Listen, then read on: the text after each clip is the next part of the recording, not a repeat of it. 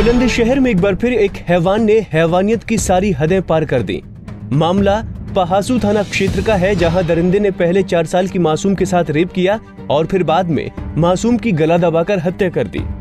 इतना ही नहीं, घटना को अंजाम देने के बाद आरोपी ने बच्ची के शव को नाले में फेंक दिया। जानकारी के अनुसार बच्ची अपने ननिहाल में एक जन्मदिन पार्टी में आई थी जहाँ पार्टी खत्म होने के बाद हैवान बच्ची को उठा ले गया जिसके बाद उसे अपनी हवस का शिकार बनाया और हत्या कर शव को नाले में फेंक दिया। क्या नाम है आपका? देखा रेखा ये बताइए क्या हुआ था आपकी बेटी के साथ में? मेरे लड़की को बारह बजे उठाई थी उसके संग में गलत काम करे और दिया किसने मारा था? आप सौरभ नाम का लड़का था। पुलिस क्या कार्रवाई कर रही है?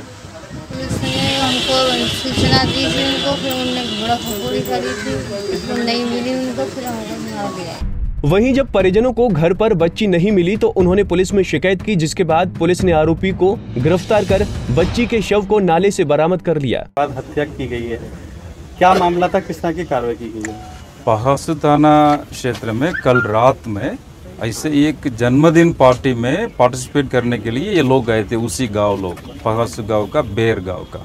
उसी में ये चार साल का बच्ची भी गए थे, उनकी माँ, उनका पड़ोसी, ऐसे इसी में अभी मूलजिन है सौरभ वो भी गए थे।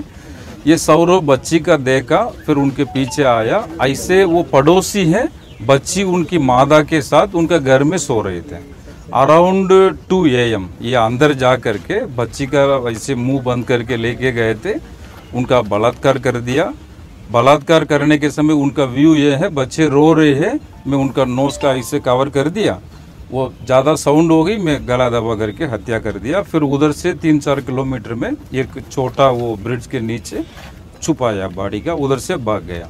माँ, ये जानकारी सुबह पाँच बजे इनका माँ का हो गई। कब ये माँ देखा, नज़दीक में बेटी नहीं है, फिर पूरी गाँव ऐसे गाँव में तलाश कर दिया बच्ची के लिए। नहीं है, आठ बजे डायल हंड्रेड का इन्फॉर्मेशन हो गई। डायल हंड्रेड का माध्यम से ताना का जानकारी मिला, वो जल्दी फोर्स उधर पहुँच करके पूछताछ में इन लोग का डाउट आया सौरव के खिलाफ। सौरव का ताना लेके आया, पूछताछ करने के समय ये कबूल कर दिया। उनका साथ लेकर के गए के उधर गए थे हम, वो लोकेशन बताया, उधर से बच्ची का बॉडी भी बरामद हो। फ़िलहाल पुलिस ने आरोपी को गिरफ़्तार कर जेल भेज दिया है, लेकिन चार साल की बच्ची से हुई दरिंदगी के बाद एक बार फिर समाज को शर्मसार होना पड़ा। बड़ा सवाल ये है कि आखिर कब तक ऐसे ही महिलाओं और बच्चियों के साथ हो रही दरिंदगियों की वजह से समाज को शर्मसार होना पड़ेगा? पंजाब केसरी टीवी के लिए बुलंदशहर से इकबाल सैफी की रिपोर्ट।